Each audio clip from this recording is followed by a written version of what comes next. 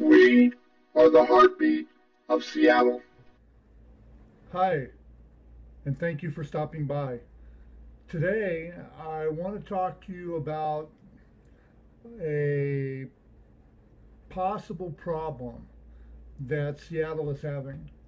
Uh, I had a feeling that when they started Chaz in Capitol Hill, that it wasn't going to last very long.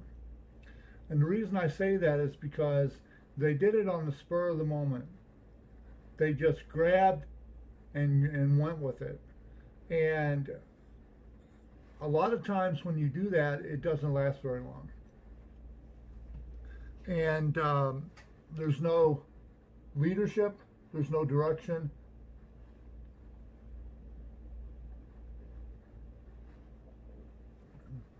So you got everybody running around like a chicken with its head cut off, going in all different directions.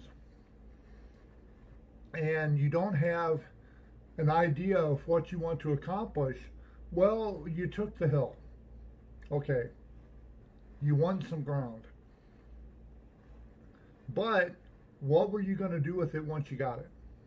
Now, I'm a proponent of slavery was bad.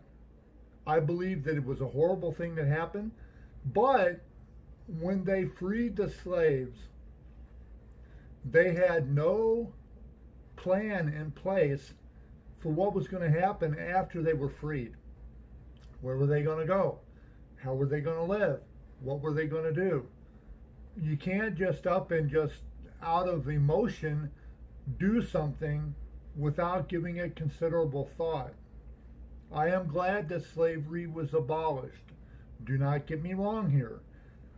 I was very glad that they abolished slavery, but once you abolish the slavery, then what? It's like, oops, hot potato.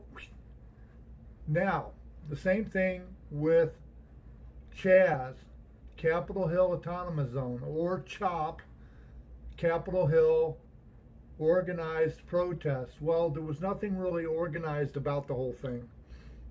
You had a bunch of people that wanted it to go this way, and a bunch of people that wanted it to go that way. Now, you have the police who I am a firm believer in law enforcement. I am. I am a firm believer in law enforcement. Even if you enforce the law on yourself, self enforcement. I'm a firm believer that there has to be some stability and some law and order there. You cannot just run amok.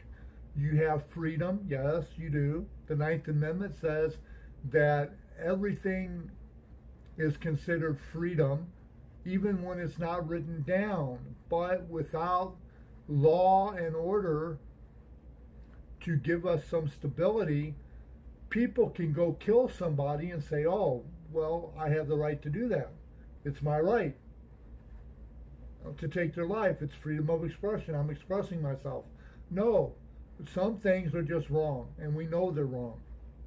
Now, with Capitol Hill Autonomous Zone, the police have come in, and under certain circumstances, deadly force has to be used. Extreme force, such as flashbangs. When you've got a bunch of people that are unwilling to leave, they're not they're not doing anything. They're not furthering the cause, they're just there. And they don't want to not just be there, so they're going to fight you so they can be there. They're not helping the cause, they're not doing nothing but just being lazy and hanging out with who they consider to be the cool kids. And you got a lot of people that uh, that are up uh, at the autonomous zone that they they didn't care about the cause. They didn't care about George Floyd. They didn't care about all the other Americans that have been murdered at the hands of overzealous police. Police that should not even have been there. Now, I'm not down on the police 100%. I am down on bad cops that have serious problems that should not be on the police force and police unions that back them up. And also, you got police that are in the precincts that are unable to say anything because you've been taught that you have to protect your brother. You have to have his back regardless. That's not true. If you really care about that person and he's your friend and you really care about him, you will turn him in so he can get help. If he will not help himself, you have to help him help himself. But the police are not allowed to do that. So you have a bunch of bad cops that may not be bad willingly. They may not set out during the day thinking of who they're going to kill, but they have anger issues. They have emotional problems. They can't separate personal and business, their job from their life. When somebody spits on you, that's bad. Yes, it is. But that comes with the territory of being a cop. You cannot take it as a personal vendetta against you. The guy spit on the cop. The guy didn't spit on you, the person that is the cop. He spit on the police as a whole. That's not right. He should be dealt with for that. But the police do not have a right to step outside of their purview and take things personal. And there's a lot of cops that do that. They love to escalate stuff. They love to be in the thick of things.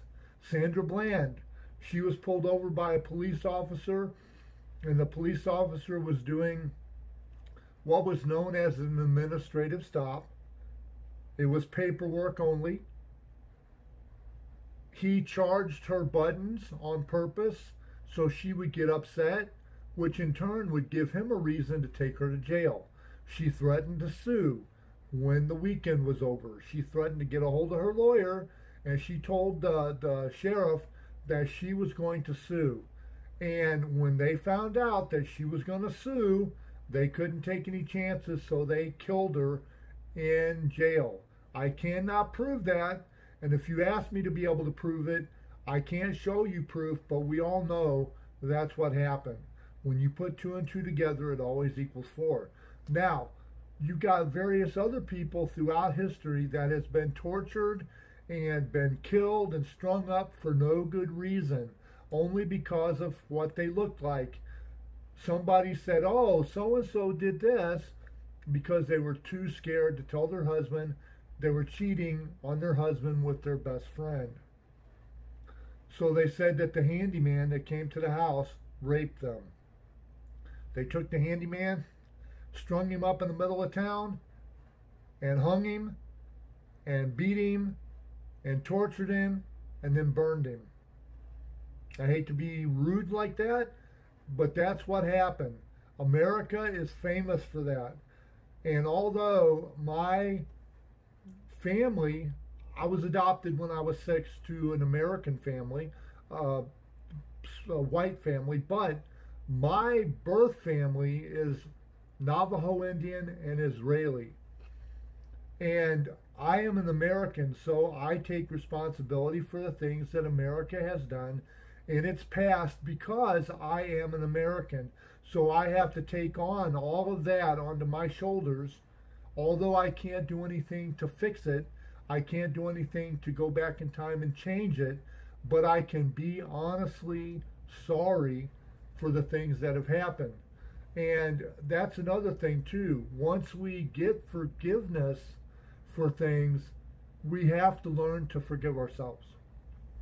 Now, back to the Chaz uh, Capitol Hill Autonomous Zone, or CHOP, Capitol Hill uh, organized protest. The city uh, of Seattle's police department took it upon themselves to go up there and clear people out. They cleared the protesters out. They're in the process of clearing them out. Now, I can understand why they're doing this, and they may have a little pushback from the protesters, which is understandable.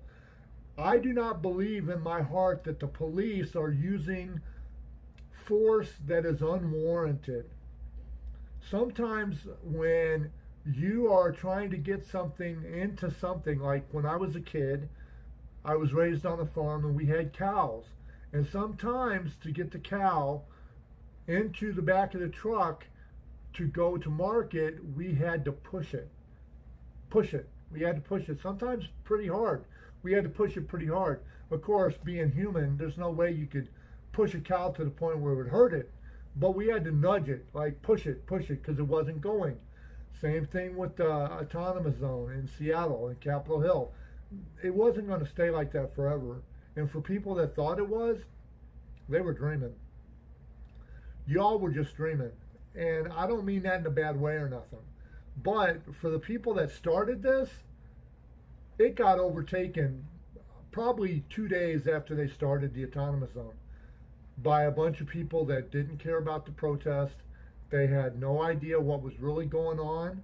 They weren't furthering the cause. They were just going up there to get high, live life without any restrictions. They didn't have to worry about the law.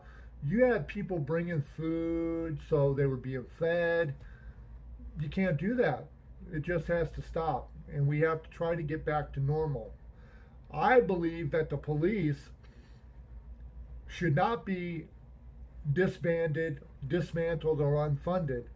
I believe that they should be uh, brought down and reorganized. And you get all the bad cops as much as you can off the force. You get uh, cops with major issues into programs to help them.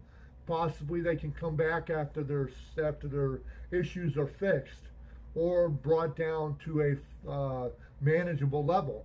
You have a lot of cops that are afraid to rat on another cop. You got to stop that. You can't let the unions bully you. You got to do what you know to be right because it's your police department, damn it. And you have pride in your police department. You have pride in what you do, and you have pride in that uniform and that badge, and you are not going to let anybody screw you out of that pride and the privilege of being a police officer for the city of Minneapolis. Yep, that's my thoughts on it. I'm going to let you go. I'm ranting a little bit. I'm already up to almost uh, 13 minutes, so I'm going to let you go. If you know something I don't about this issue, or you've been part of the Chaz or CHOP, please put a comment below and let me know what you thought of everything. If you've been affected and it's been uh, badly, uh, if it's you've been affected badly by this, and uh, you've had problems with Chaz or Chop, please put it in a comment below and let me know what you're thinking. Also, um, if you want to hit that subscribe, that uh, thumbs up button for the like, hit the like button.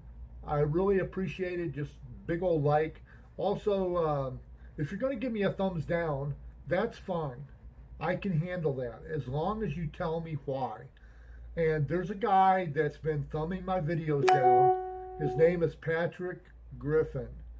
He's mad at me because I won't be his friend anymore. It's just I've outgrown him in my life and I've moved on. Nothing personal, Pat. You just have to find your own friends and make your life the best you can the way you can. And I am not going to let this get personal, but I just had to get you out of my life and go on without you. It's time. Anyway, having said that, I'm going to leave you with this note. Let's make tomorrow better than yesterday by doing the very best we can today. Have a good afternoon Seattle, America and all points beyond.